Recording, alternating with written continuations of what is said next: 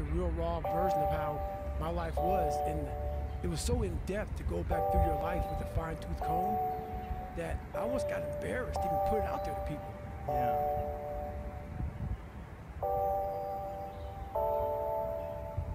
Learning disabilities, all the struggles.